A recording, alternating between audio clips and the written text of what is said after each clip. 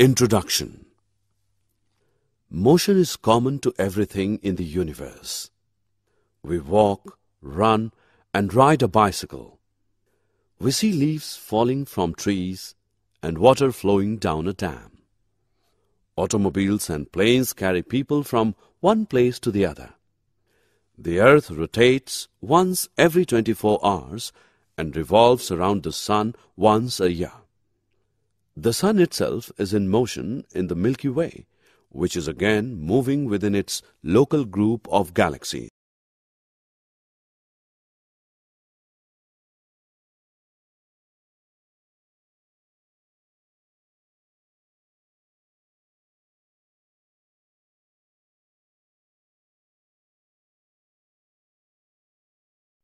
Objectives At the end of this lesson, you'll be able to understand mechanics and its classification, distinguish between statics and kinematics, distinguish between rest and motion, understand relative motion, understand types of motion, define point mass object and frame of reference, differentiate between path length and displacement, difference between speed and velocity.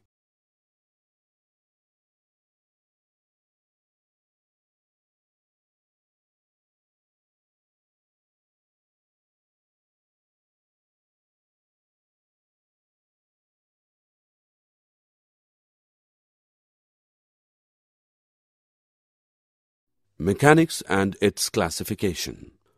All living things move by themselves without any external help. Animals move from one place to another or they move their body parts are all motion. The branch of physics which deals with the study of motion of material objects is called mechanics. Mechanics is broadly classified as 1. Statics 2 kinematics.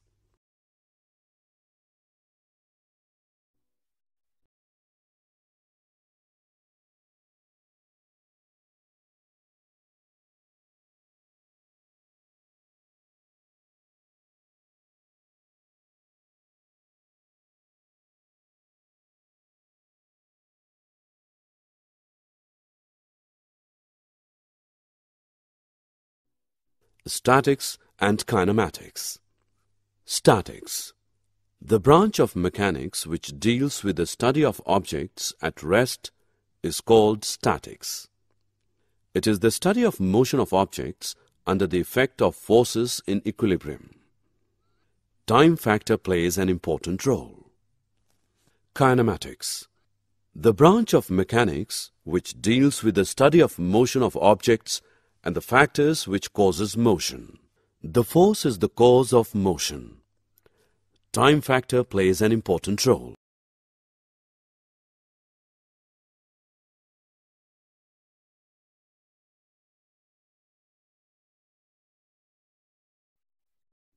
Rest and motion.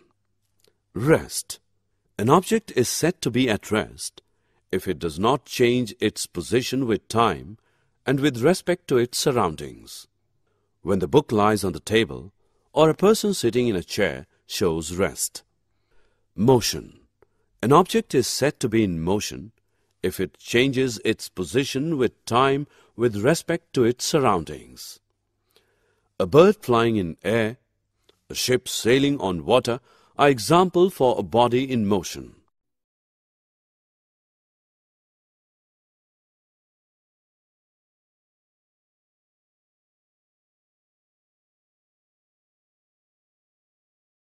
Rest and motion are relative.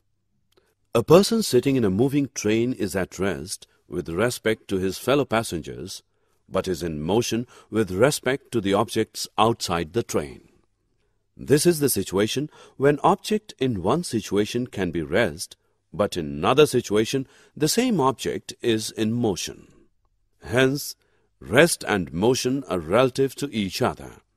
Example a person sitting in his house is at rest, but with respect to earth, it is in motion with respect to other planets.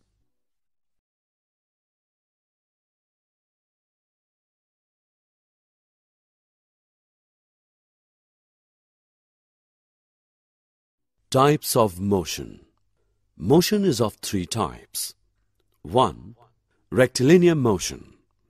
When body is moving along a straight line is called rectilinear motion. 2. Circular motion. When body is moving on a circle, it is called circular motion. 3. Oscillatory motion. The to and fro motion repeatedly about a fixed point in definite time interval of time is called oscillatory motion.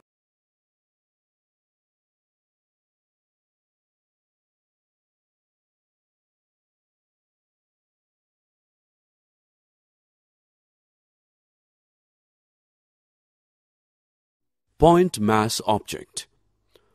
Object is a point mass object if during motion in a given time it covers distances much greater than its size. Example, the revolution of earth around the sun, the diameter of earth being very small as compared to the length of the orbit around the sun, the earth can be regarded as the point object.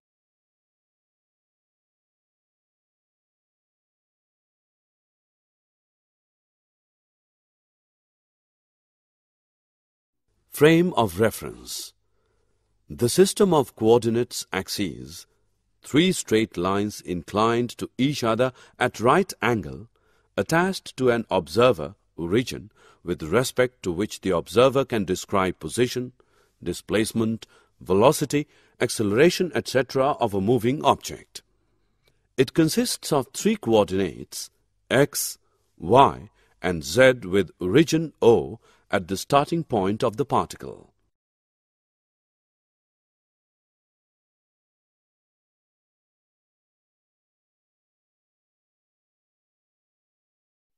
Motion in one, two, and three dimensions.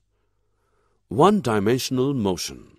The motion only in one out of three coordinates specify the position of the object changing with respect to time.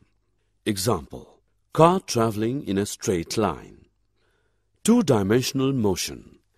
The motion of an object in two out of three coordinate specifying the position of object change with respect to time. Example, a billiard ball moving over a billiard table. Three-dimensional motion. The motion of the object when all the three coordinates are specified, the position of the object change with respect to time. Example, a kite flying on a windy day.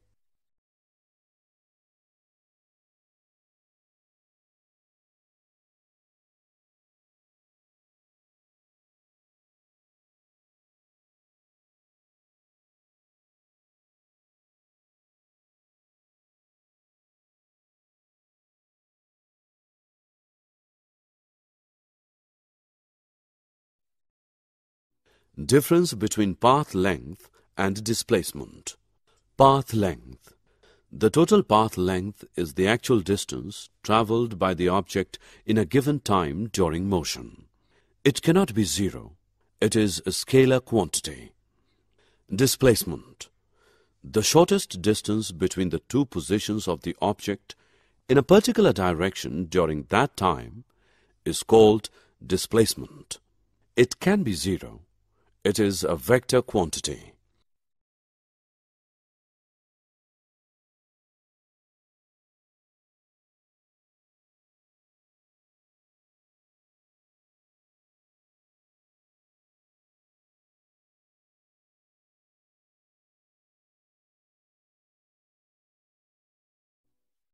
Speed of an object is defined as the ratio of the total path length covered and the time taken by the object.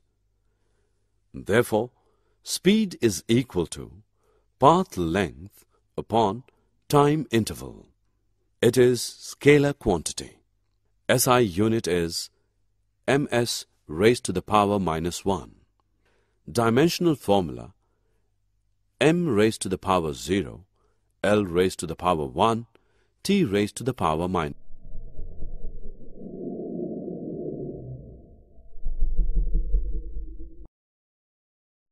uniform speed and variable speed. Uniform speed.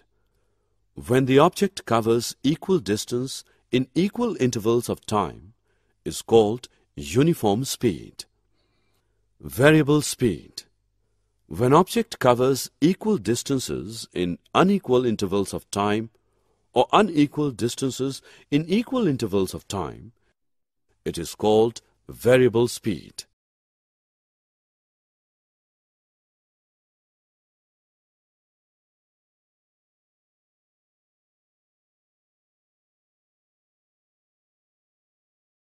Average speed and instantaneous speed. Average speed. The ratio of total distance travelled by the object to the time taken. Therefore, average speed is equal to total path length upon total time interval. Instantaneous speed. The speed of an object at a given instant of time is called instantaneous speed.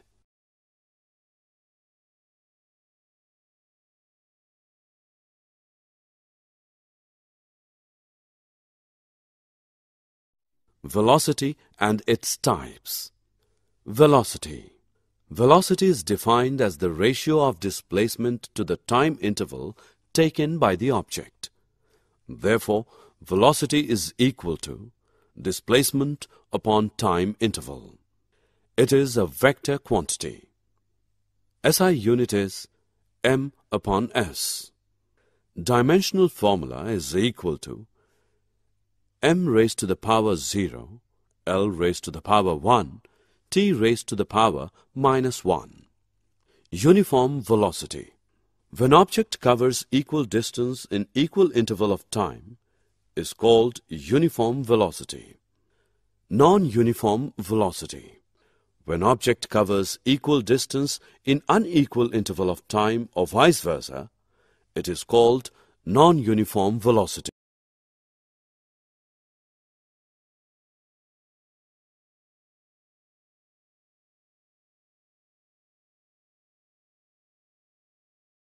Graphical representation of motion. Distance time graph. The distance time graph gives us the speed. The slope of a distance time graph gives speed. If the distance time graph is a straight line, the speed is uniform. If the distance time graph is a curved line, the speed is non-uniform.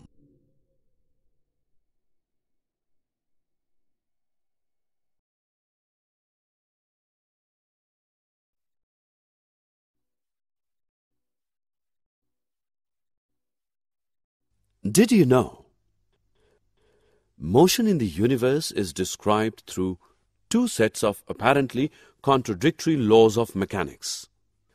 Motions of all large-scale and familiar objects in the universe, such as projectiles, planets, cells, and humans, are described by classical mechanics. The motion of very small atomic and subatomic-sized objects is described by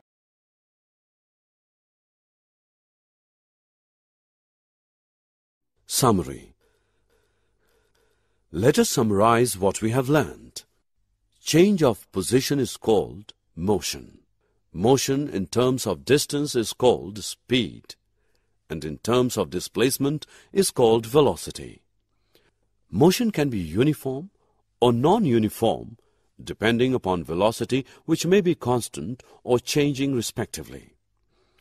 The rate of change of distance or displacement gives us speed or velocity respectively.